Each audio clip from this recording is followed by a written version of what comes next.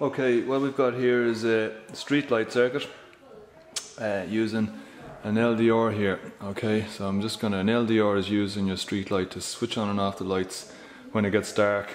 The street lights don't switch on and off according to time, they actually switch on and off according to how bright it is.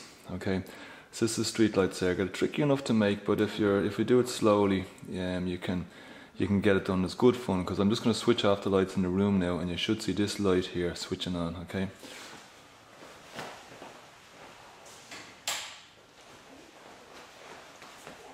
There he goes, okay? So when, when it became dark in the room, the street light here switched on. I'm going to switch on the lights again now and the room will become bright and he'll switch off again.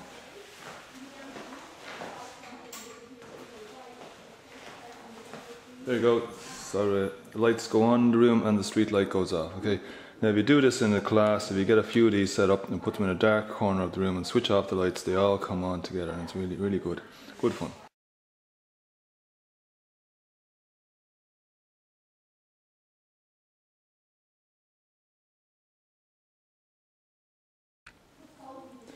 Okay, so here we go, making our street light circuit. Now I'm gonna do this slowly, okay? So I'm taking one short red wire I'm sticking one end of it into the 6 volt and my plus volt 6 volt side of my battery. Okay like that. The other side then is going to go into this hole here on this big 10 kilo ohm resistor. Okay like so. Okay that's my first connection like that. Okay so from the 6 to the 10 kilo ohm resistor. Okay uh, now my second wire is going to go from the other side of this 10 kilo ohm resistor, like so.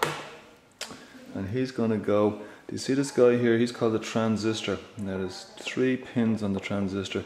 He's going to go to this middle leg here, like so. Okay, so I'll do that again. He's gone into the middle leg of this transistor, like so. Okay, so that's my second connection. So we've got two connections made. Okay. Now, uh, next connection, let's just think about this.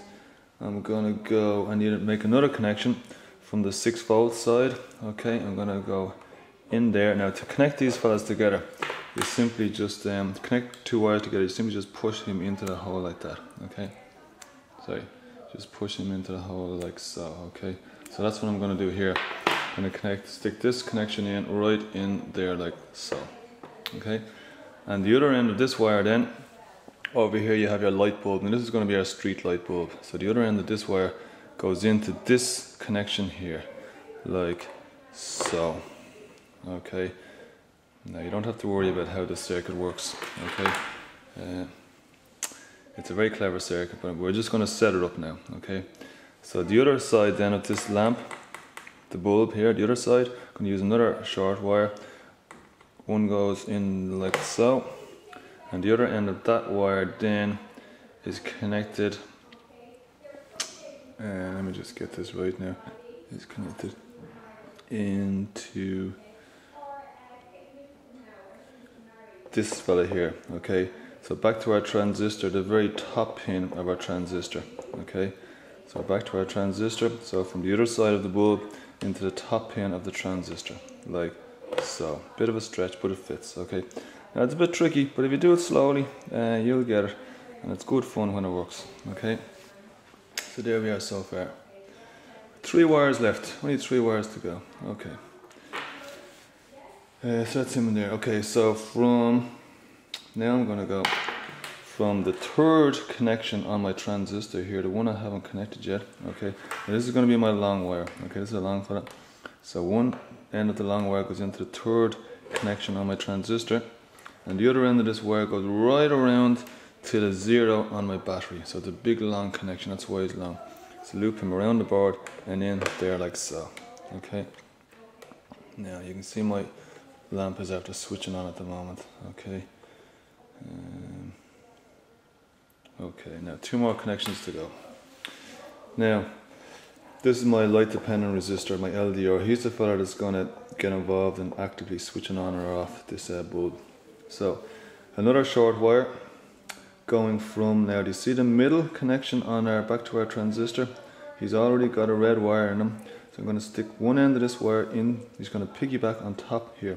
So it goes into that hole like so. Okay, so he's into the middle connection on the transistor.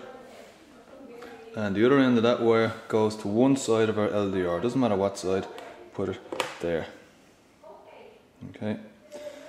And then last connection, the other side of the LDR using a short wire, put one wire into the other side, and the other side of that wire goes to this uh, bottom connection on the transistor. See where the black lead is? So he just goes into the back of the black lead. Okay. Now you notice my light bulb over here is switched off now. Okay. Now, so that's my street light circuit. At the moment, your LDR here, if you like, he's kind of um, if you like he's there's light shining on him. He's nice and bright so his resistance is kind of low okay? So the electricity isn't going to flow through this light bulb. It will only flow through that light bulb if, if his resistance come becomes high okay? So I'm going to switch off the lights in the room. His resistance will come high and what that does is um, it forces this transistor to actually switch on this light bulb here okay so I'm to switch off the lights in the room hopefully it'll work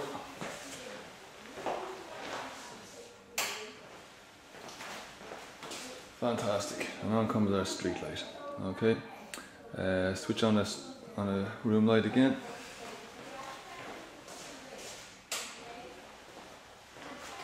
And the street light goes off. Fantastic. Okay, so that's your street light circuit.